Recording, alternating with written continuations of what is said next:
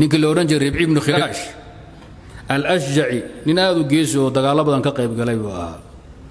Tolkiisa reer ashjacna waxay dhaheen waa asdaqu rajulin fiina.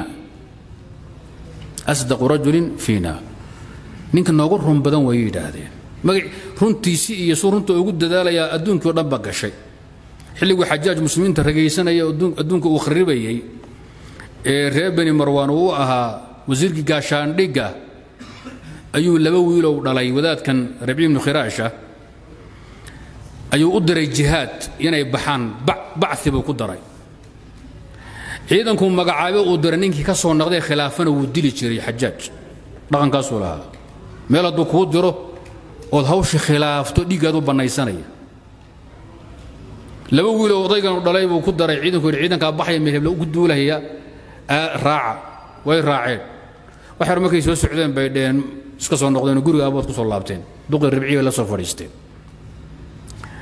mid khayr beela ah oon dowladdaa daba ordahayay baa ku jaaday oo ku tiray wadaadku wuxuu idhi xajaajow waxaa la ii sheegay labada weli ee ribciya uu dhalay eed ciidanka hebelaa ku dartay inay soo gurya noqdeenoo amarkaadi khilaafeen oy ku caasiyeen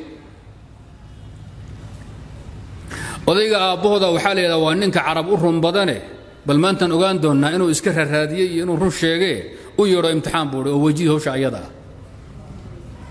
Ciidan buu diray inkaar qaba. Odaygii ribci ibnu xiraashaa la keenay xajaaj oo seefta haysta. Wuxuu iska warran buuhi odayahow seed tahay sooma fiicnid. Salamu calaykum xataa muuse wuu xanaaqsan yahay. Labada wiila dhashay ka warran buu idhi ka warran way fiican yihiin gurigaana kaga soo tago idhi. Way nabad qabaan hee gurigaana kaga soo tegay wallaahu lmustacaan buu daba dhigay. Way caafimaad qabaan gurigaan kaga soo tegay wallahu lmustacaan xajaaj waa naxay marka. Odayga da'diisa waa nin waayele sagaashan markaa jira. Iyo labadii uu dhalay uu ku curtay wuxuu leeyahay gurigaan kaga soo tegay wuxuuna og yahay xajaaj inuu gowracayo. Laakiin muxuu diidan yahay intuu noolaa inuu been sheego. Wallahu lmustacaanna waa yidhi. Xajaaj wuu isku nahay wuxuu yidhi raallahu waa ku soo lugaynay hadiyuu siiyey ritana wuu siiyey farasna wuu siiyey baqalna wuu siiyey ordaygu gurigiis ku wiilashan waan cafiyey buuri hooyooda cambulada ha u kariyeen. Way fasaxan yihiin. Idan saadiqu ninka sidiiqa ilaahay baa badbaadinaya. Runtu way ku badbaadini. Adoo moodaya in beentu ay ku tari runta ha ka carari ilahay baa kugu badbaadin. Laakiin waa in la helaha dee qalbi wanaagsan waa in la helo.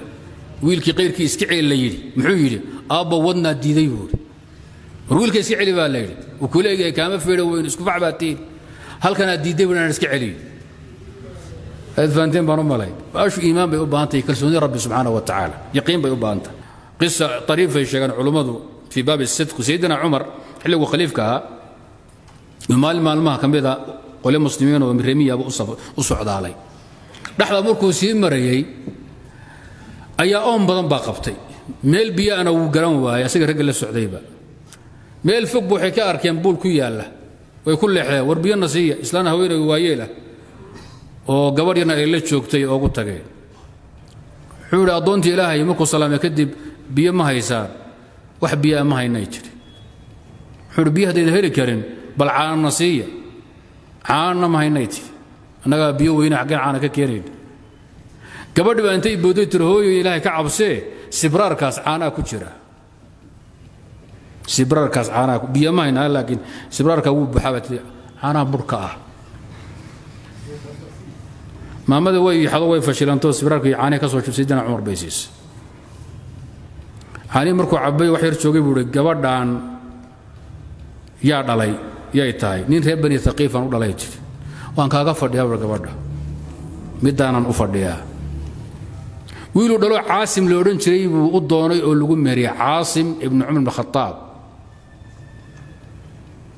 Aad fahanteen bay caasim ibnu cumar ibn khataab buu u doonay. Asigii baa guursaday? Waagii dambe gabadh bay dhashay.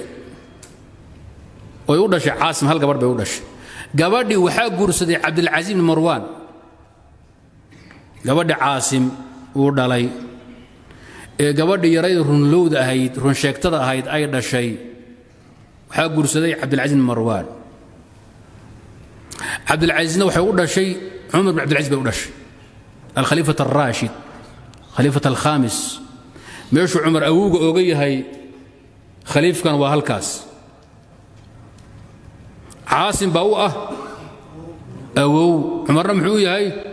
Awow labaad saa u fahma gabadhii barakaysnayd ee reer bani haqiif ee runsheegta ahayd ee duqda fasishay. Ayaa gabadhay dhashay baa dhashay.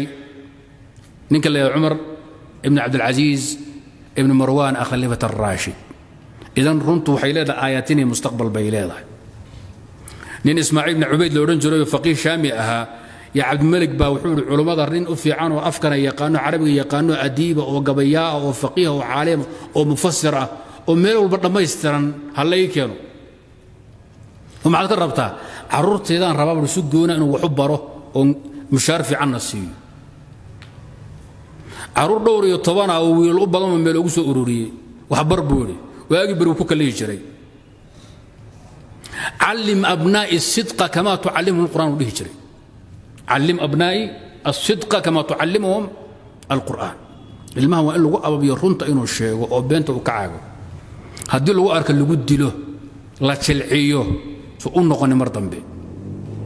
Markuu runta sheego xoogow la siiyo tashyiic abaalgudub loo dhiibo. Maalinkuu been ka aqbaxo la ciqaabo la ganaaxo qadada iyo quraacda loo diido la fiijiyo. Waxba aan loo soo gadin. Waa in la dareensan runta qiimahay leedahay carruurta la aabiyo. Haddii kale waxaa weeye baashu shaqay noqonaysaa beenta ah